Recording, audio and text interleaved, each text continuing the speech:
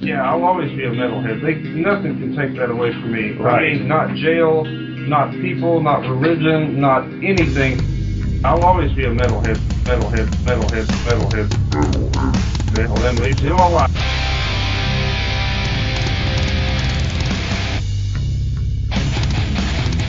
You're listening to the Great Metal Debate Podcast.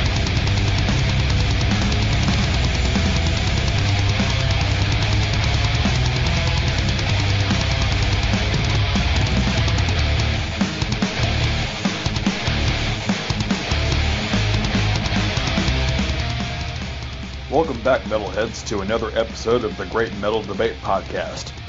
I'm your man Xander, back with another album review. Today, we'll be looking at the new release from the French technical deathcore band Solar Eruption with their incredible debut, The Demon's House, which was dropped independently on January 27th. I don't talk much about this genre, but when I do, there is usually something special about it. I have known about this band for a couple years now through social media and them releasing singles on YouTube over the last few years. But when I heard that they were putting out a full length, I knew that I had to check it out. If you are a fan of a band like Shadow of Intent, this band is definitely for you. Everything starts off the way a usual deathcore record normally begins. Although I actually enjoyed this ominous intro quite a bit, as it has a spooky horror movie vibe with its old haunted house piano. The tune is eerie and should remind you a little bit of an old slasher film. There is even a choir in the background to give it that extra boost. That way the listener knows exactly what they are getting into. And what they are getting into is a Red Room, which is the name of the crushing first track on this album. Right away, we are thrown headfirst into rapid fire blast beats and fast vocal delivery. There is a slight symphonic feel to most of these songs. There is a slight symphonic feel to most of these songs, along with the very futuristic sounding guitar work, which is certainly a nice touch.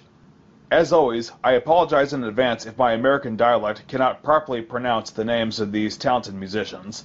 But I enjoyed those moments a lot when guitarist Jo DRGT and Flo Hoareau give us the finger tapping technique.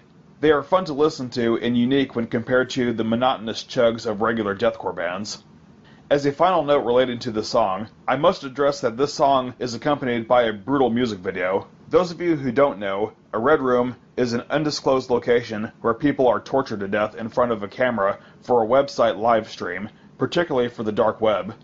Then we have another heavy hitter of a song titled UFO, which features the vocalist Dan Watson, who used to be in Enterprise Earth and is now in a band called Mire Lore. Before I go any further, I must address how insanely fast their drummer Jason Wydu is. He sounds like he could be a programmed drum machine, but he also has the skills to use every single drum on his kit while making a smooth rhythm and maintaining a consistent 400 BPM. However, the biggest highlight of the song is its breakdown, where all the music stops and the vocals continue, but the rest of the band comes back with a vengeance, almost bringing us into a slam territory.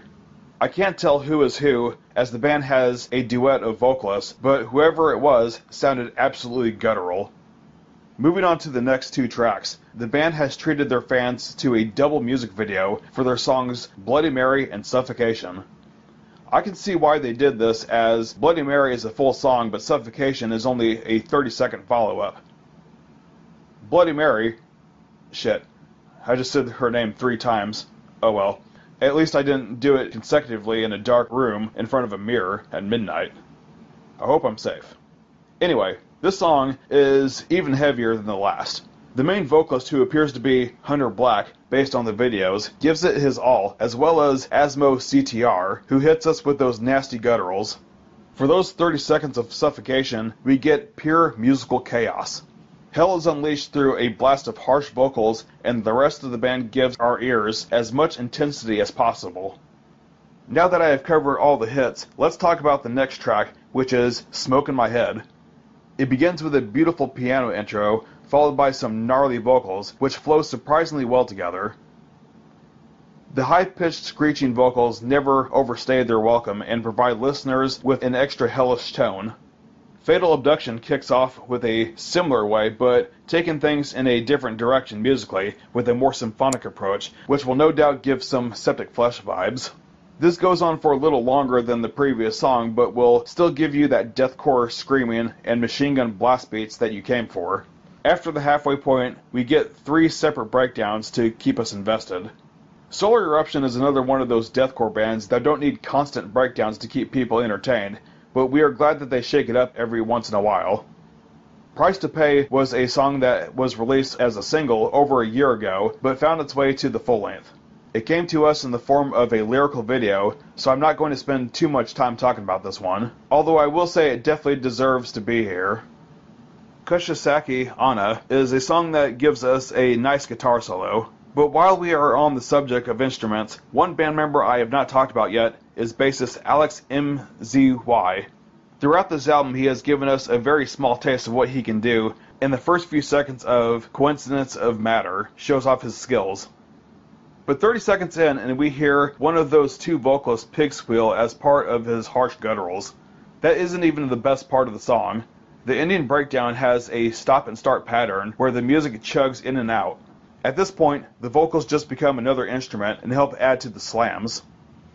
This band still has a few more tricks up its sleeve, though. Next on the list of extreme activities seem to be breaking out of a maximum security prison with The Great Escape. The first minute and a half is the sound of a buzzer and jail bars sliding open, followed by a man panting while freeing himself of chains, along with the loud footsteps of him running.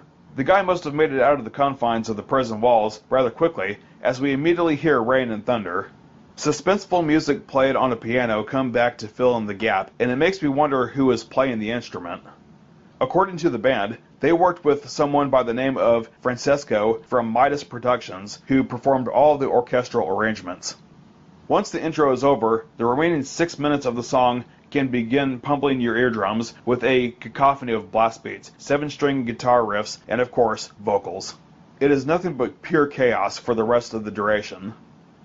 As we get closer to the end of this record, we get more technical with the guitar playing for the song Dust. Personally, I enjoy the audible breaths before the breakdown in this one. But finally, the last track, We Are Enemies, wastes absolutely zero time before annihilating your ears. It's a short, crushing, and symphonic conclusion. The Demon's House is a standout release that musically and vocally surpasses most of the typical generic deathcore that the mainstream has to offer. Deathcore still isn't my favorite genre, but I can certainly acknowledge the amount of effort that went into making this solid album. Seeing as how I would rate most deathcore to be a bland 4 to 5 out of 10, I'm going to give these guys a 7. The symphonic elements make this an enjoyable and soothing listening experience.